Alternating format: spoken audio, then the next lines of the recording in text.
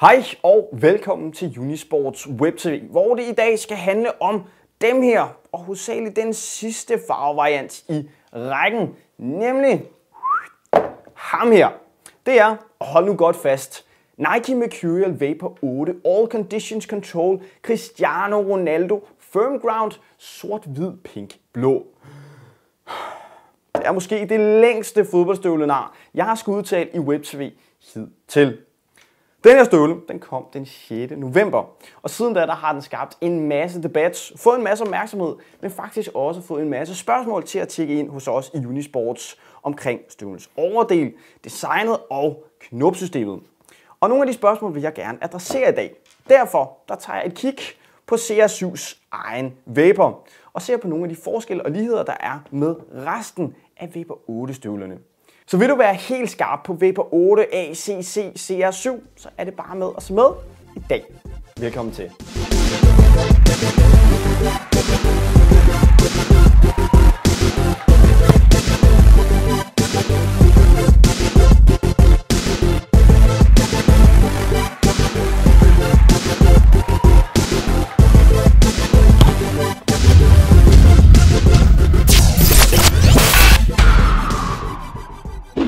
CR7-modellen af VP8 den er designet helt unikt til Cristiano Ronaldo. Og derfor har Nike også valgt at lave en lille smule om på selve designet, altså det grafiske design på støvlen.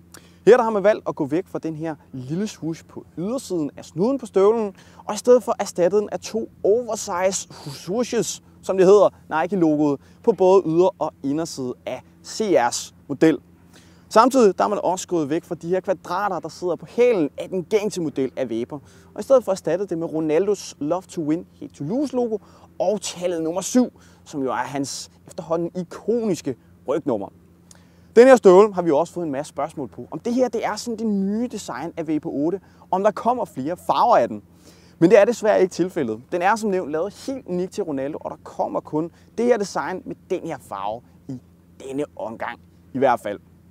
Støvlen her, det er også signaturstøvle nummer 4 til Cristiano Ronaldo. Vi har set en masse forskellige designs efterhånden, og det er også en af de mere klassiske signaturstøvler, Ronaldo har haft indtil videre i hvert fald. Netop designet, det er lavet for ligesom at indfange både den her klassiske elegance, Ronaldo har, som er symboliseret ved de sorte og hvide farver, og så den her mere moderne, sprudlende spontanitet, Ronaldo har på banen med de blå og pink farver, der lyser lidt mere. Så lidt sådan en dualitet, som Nike gerne vil indfange med den nye støvle. Jeg synes, hånden på hjertet, at det her det er den fedeste farvevariant og det fedeste design af VP8 indtil videre. Jeg er fuldstændig solgt, og det var rigtig, rigtig godt, at den her den kom på markedet. Ikke kun til Ronaldo. Jeg er fan.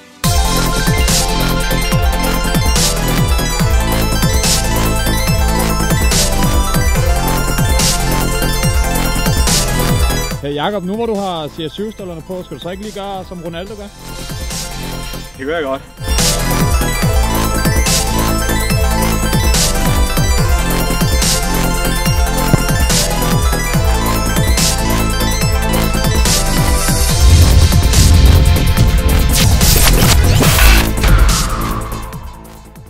En anden ny ting på CR7-udgaven af Vapor 8, det er sålen.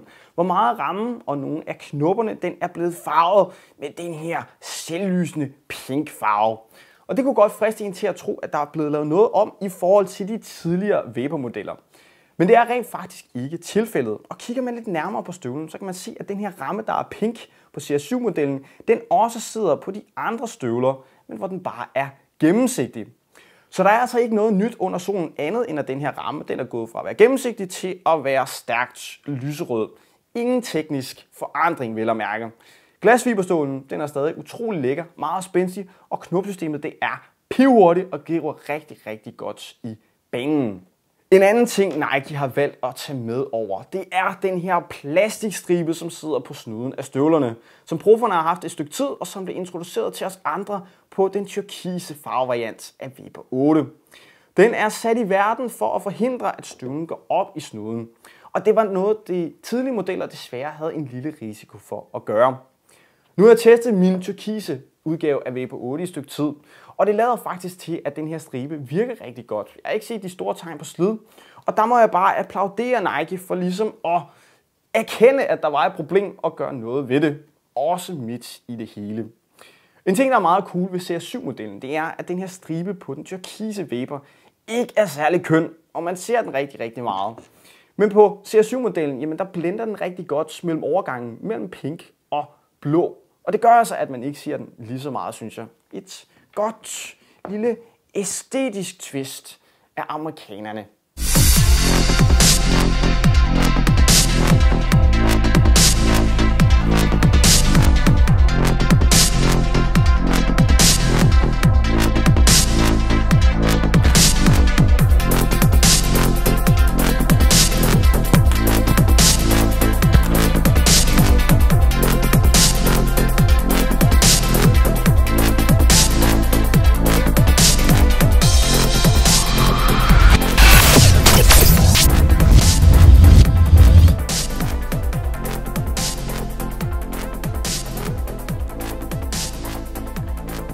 Udover designet, så er den væsentligste ændring på CR7-udgaven af Vapor 8 støvlens overdel. Det her det er den sjette farveopdatering, der er kommet af Vapor 8, og faktisk intet mindre end den fjerde nye overdel, som Nike har sat på støvlen. Alle Nikes Vapor 8 modeller, de er lavet med den her mikrofiber, der hedder Teijin OLM 12. Men alle støvlerne er lavet med forskellige finishes, altså overfladestrukturer. De første to modeller, der kom, altså mango og hvid-blå, var lavet med en ruskinslignende overflade. Så kom der EM, hvor Clash dukkede op, og efterfølgende kom sort-gul også. Og de to støvler blev lavet med en lidt mere læderlignende finish, og et materiale, der føles en lille smule tykkere. Men altså stadig Teijin OLM 12. Her til efteråret, der dukkede så turkis orange op, og den gik tilbage til den her ruskinslignende tekstur på overfladen. Bortset fra, at den lige fik ACC, All Conditions Control, inkorporeret i overdelen. Nu er det så blevet tid til, at CR7 Vapor 8 støvlen skulle på banen. Og her der kom der altså endnu en gang en støvle med en lidt læderlignende finish og ACC inkorporeret i overdelsmaterialet. Altså overdelsvariant nummer 4 ud af 6 modeller. Det er relativt meget.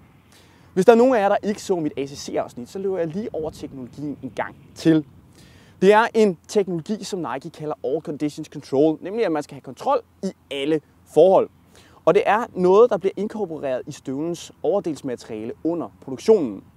Det gør, at støvlens overdel bliver en lille smule mere vandafvisende, og det sikrer, at der kommer bedre friktion mellem støvle og bold, især når det er vådt.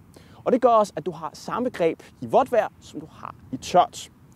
Det skal lige siges, at grebet i vådt ikke bliver decideret bedre end det greb, du har i bolden i tørt vejr det er bare det samme, og det bliver altså ikke ringere af, at det regner, hvor støvlen godt kunne have tendens til at blive glat i de modeller, der ikke havde ACC inkorporeret.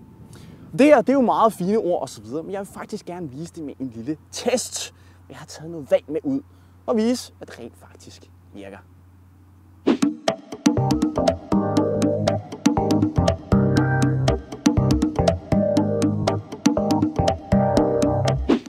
Jeg tænker, at vi laver det lille eksempel sådan her, at vi sætter læderfinish mod læderfinish. Sort mod sort. ACC, ikke ACC. Det man kan se, det er, at når støvlen uden ACC-teknologi, den bliver våd, så griber den. Den, den griber i bolden. Det er ikke vanvittigt imponerende. Og det er altså både bold og støvle, der er våde. Gør vi det samme med ACC-modellen, fugter snuden, og får den til at hive lidt i bolden, så tager den altså markant bedre fast end støvlen uden ACC-teknologi. Det er faktisk temmelig imponerende, skulle jeg hilse at sige, og jeg bruger ikke særlig mange kræfter. Udover det her med, at støvlen den griber bedre end støvler uden ACC, når bolden og støvlen er våd, så er det faktisk mere eller mindre den samme oplevelse som at spille med de gamle støvler, der har læderfinish. Og i øvrigt også som at spille med støvlerne med ruskensfinish på overdelen. Den her støvle, overdel hedder det selvfølgelig på CR7-støvlen, den er stadig blød, smidig og sætter sig rigtig, rigtig godt rundt om din fod. Touchet er præcist og en lille smule blødere, fordi overdelsmateriale er marginalt tykkere end på for eksempel den tyrkise model af støvlen. Simpelthen en lille smule mindre skarpt, men det er marginalt, vi snakker om. Ellers så opfører den sig fuldstændig som en hvilken som helst anden Vapor 8, Skarp touch, lækre sparkeegenskaber og en rigtig, rigtig stor fornøjelse at drible i. Og ACC, det gør den kun sjovere i vådt vejr. Så skøjter bolden ikke rundt.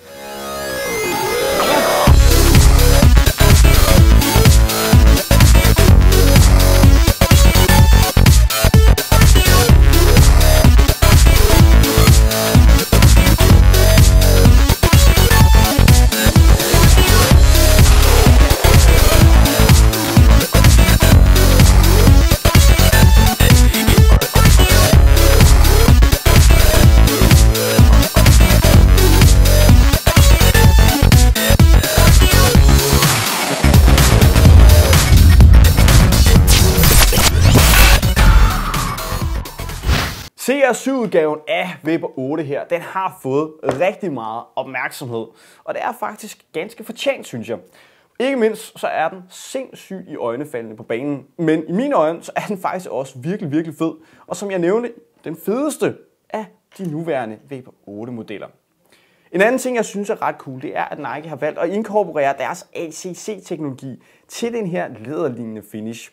Og det gør også, at uanset om du foretrækker den her type finish, eller den her mere ruskinslignende overdel, som du finder på den turkise udgave af Vapor 8, jamen så kan du altså få ACC i overdelen på dine Vapors. Og det er faktisk meget cool, synes jeg.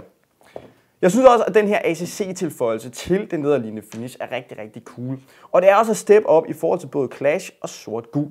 Så det er bestemt ikke sidste gang, at jeg har stukket poterne i den her. Hov, når jeg skal ud og spille. Heller ikke, selv om det regner.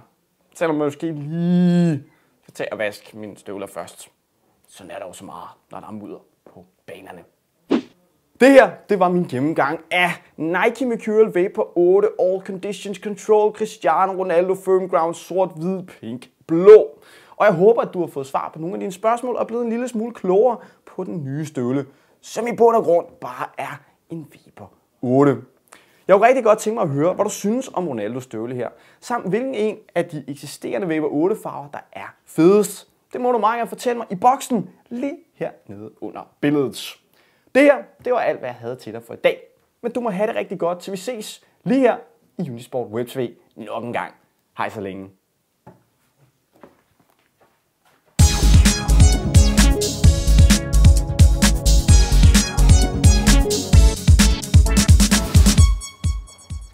Nå ja, det her, det er ikke...